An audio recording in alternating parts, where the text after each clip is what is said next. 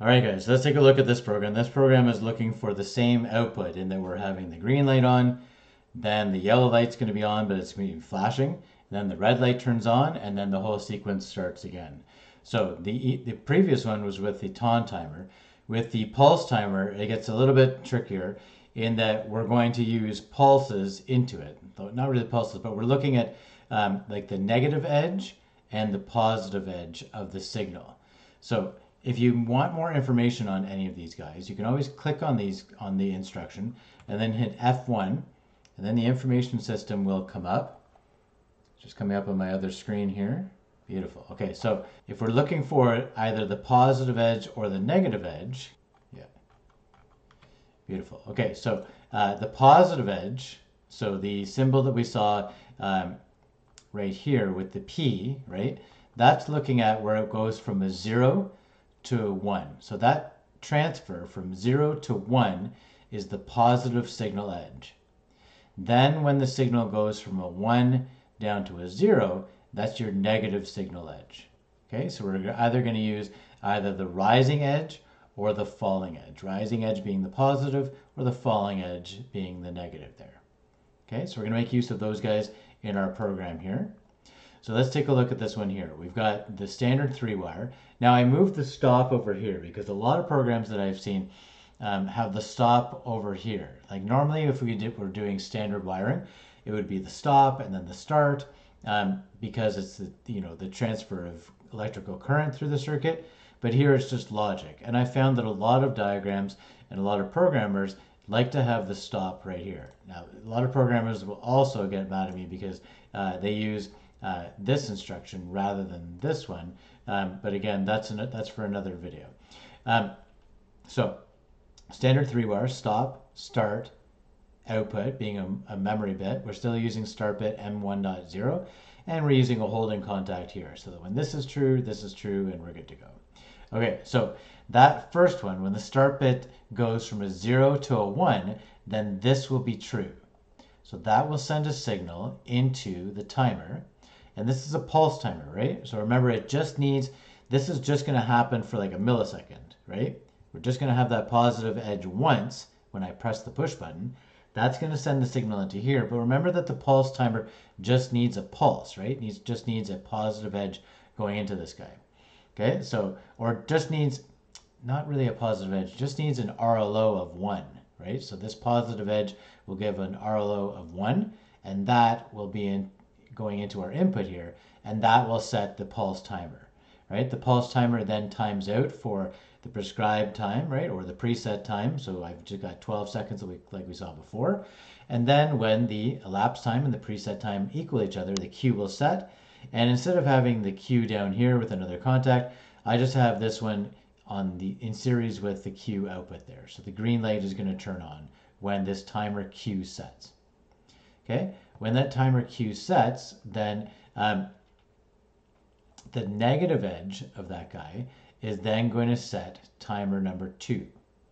Okay, so once that guy has the negative edge on the Q, okay, because remember this pulse timer is going to um, going to go high for 12 seconds, right? So the Q is going to set for 12 seconds, and then the Q will go low. So when the Q goes low, then this will set, right? So we're just looking for the negative edge. When this goes from a 1 to a 0, then this will be true, which will then start our second timer, right? We just need that to be true once. The RLO for that will, will, be, will be a 1. That will go into our input, and it'll set our second timer. This one's a pulse timer as well. This is going to be on for 6 seconds. So the yellow light will be on for 6 seconds as this times out. And we've got our memory bit here that we saw in the previous video, percent %m10.5, uh, which is set for the 1 hertz. Okay, so this will then flash at 1 hertz for 6 seconds. Okay, and then once this one goes negative, so once this Q goes from a 1 to a 0, then this will be true. The RLO will be a 1 into the input, and then the third time will, will be turned on. Again, this only has to happen for an instant, that will pulse the timer on. The timer then times out for 12 seconds. So the red light will be on for 12 seconds. Okay, then we need the whole sequence to start up again. So up here, this has already happened, so we can't have that happen again, right?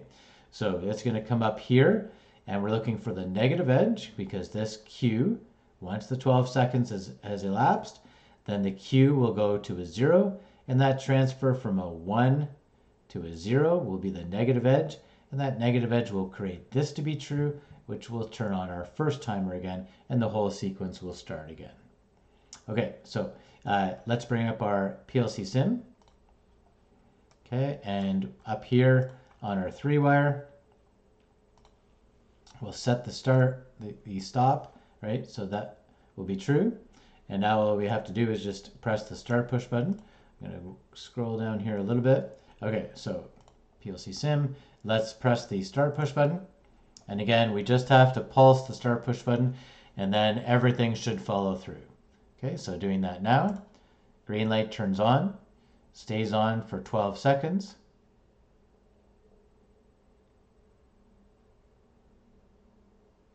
Ten, eleven, twelve. Boom, turns on the next one. You can see that that just came in briefly, right? This stays on for six seconds. Beautiful. Little pulse came in here. And then our third timer's on. The red light is on for 12 seconds. And then we'll see at 12 seconds that uh, this goes true. Beautiful.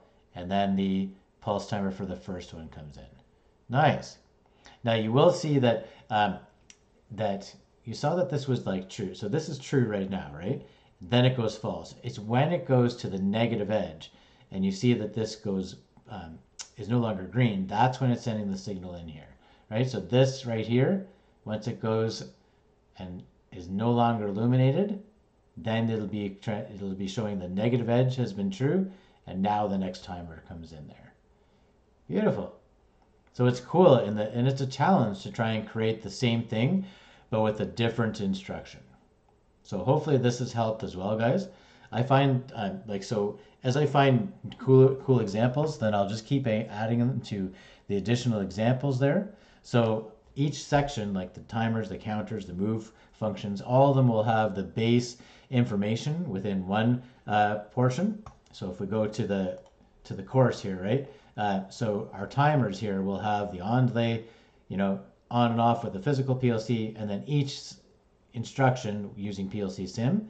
And then in this file folder here, uh, I'll have additional timer exercises. So I'm just finishing this video up here. So that video will be dropped in here. So you'll have the video walking through a new exercise. And then right below that, you'll have uh, a PDF of the actual uh, program that we just did, right? So let me just bring up um, that diagram. So give me two seconds to find it here. Okay, so uh, if you open up that, uh, that PDF, then the program that we just worked on will be available to view within your browser. Then you can make it you know as large as it works for you so you can see it on your screen, right? and then you can work with this in order to create the, uh, the program that, we, that you saw in the video. All right, guys, we'll stop her there. We'll see you guys on the next video. Hopefully you enjoyed this one.